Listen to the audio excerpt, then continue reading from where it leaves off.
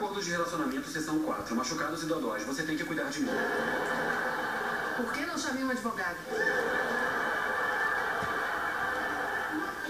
Parece que somos